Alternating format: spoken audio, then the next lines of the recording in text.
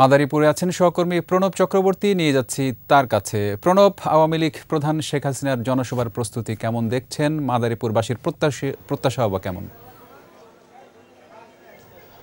রক্তিম কিছুক্ষণ আগে আমরা যে প্রতিবেদনটি দেখছিলাম, সেখানেই আসলে ছিল উৎসাহ উদ্দীপনার বিষয়টি। আমরা এখন সেই জায়গাটিতে দাঁড়াইয়ে আছি, যেখানে প্রধানমন্ত্রী শেখ হাসিনা আগামীকাল নির্বাচনী জনসভায় যোগ দেবেন। অর্থাৎ কালকিনি উপজেলার সৈয়দ আবুল হোসেন কলেজের মাঠে যে নির্বাচনী জনসভা হবে, এটি হচ্ছে সেই মাঠ। আপনাকে যদি একটু দেখাই যে নির্বাচনী জনসভার যে প্রস্তুতি, সব রকম প্রস্তুতি এখানে সম্পন্ন হয়ে গেছে। শুধু এখন অপেক্ষা আওয়ামী লীগ সভাপতির শেখ হাসিনার। তিনি আগামীকাল দুপুরে, আমরা যতটুকু জানি, দুপুরে দুপুর দুইটায় এই নির্বাচনী জনসভায় যোগ দেবেন।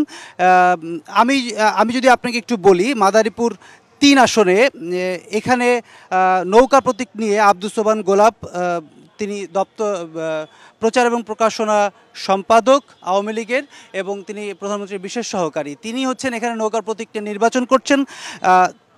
তার যিনি প্রতিদ্বন্দ্বী, প্রধান প্রতিদ্বন্দ্বী ইগল প্রতীক নিয়ে স্বতন্ত্র প্রার্থী, কালকিনি আওয়ামী লীগের সভাপতি এবং তিনি সংরক্ষিত মহিলা আসনে এমপি উনি হচ্ছেন মোসাম্মদ তাহমিনা বেগম এবং আর একজন প্রতি- আরেকজন প্রতিপক্ষ এখানে রয়েছেন প্রখ্যাত শিল্পী নকুল কুমার বিশ্বাস তিনি হচ্ছেন কৃষক শ্রমিক জনতা লীগের গামছা নিয়ে এখানে লড়বেন। অর্থাৎ এখানে ছয়জন মাদারীপুর তিন আসনে ছয়জন প্রার্থী রয়েছেন।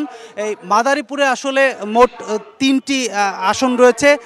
মাদারীপুর চারে আছে, মাদারীপুর দুয়ে আছে চারজন প্রার্থী এবং মাদারীপুর তিনে আছে তিনজন তিনজন প্রার্থী। তো সব কিছু মিলিয়ে আসলে মাদারীপুর নির্বাচনী উৎসব যেটি, সেটি এখানে রয়েছে সেটি এখানে বলাই যায়। এবং মাদারীপুরে, মাদারীপুর শিবচরে আছেন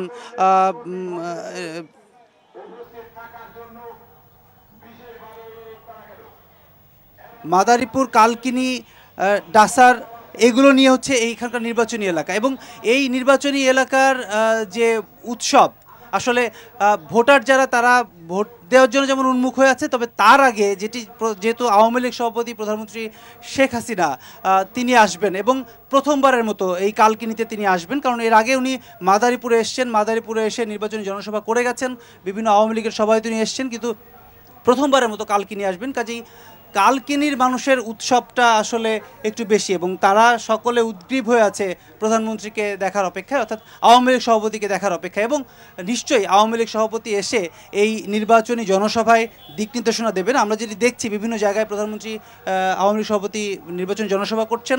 সেই জনসভার অংশ হিসেবেই আগামীকাল তিনি এখানে আসবেন এবং এখানেও যেহেতু স্বতন্ত্র প্রার্থী রয়েছে এবং বিভিন্ন জায়গায় জাতীয় পার্টির প্রার্থীও রয়েছে তাদের তাদেরকে নির্দেশনা প্রধানমন্ত্রী এখানে দিয়ে যাবেন এবং নিশ্চয়ই ভোট দেওয়ার যে আগ্রহ, উদ্দীপনা, সেটি আপনাকে যদি অল্প একটু দেখায় যে নির্বাচনী যে আবহ, যে উৎসব সেটি কিন্তু এখানে দেখাই যাচ্ছে এবং মিছিল মিছিল, মুহুর্মুহুর মিছিল এখানে চলছে।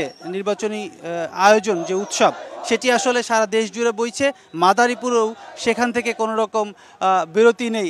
তো রক্তিম আমি বোধহয় আপনাকে মোটামুটি মাদারীপুরের যে নির্বাচনী জনসভা এবং আওয়ামী লীগ সভাপতি আসার যে উৎসব, সেটি কিছুটা হলেও বোঝাতে পেরেছি। ধন্যবাদ প্রণব।